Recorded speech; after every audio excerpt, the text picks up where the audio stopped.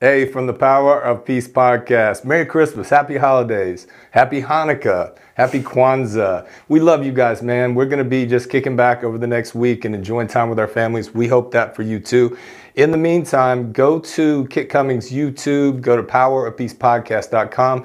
Watch some of our previous episodes. We have great content to help you in a number of areas, but we just want you to have a wonderful time. I hope it's a merry, merry time for you. We love you. Come back and see us.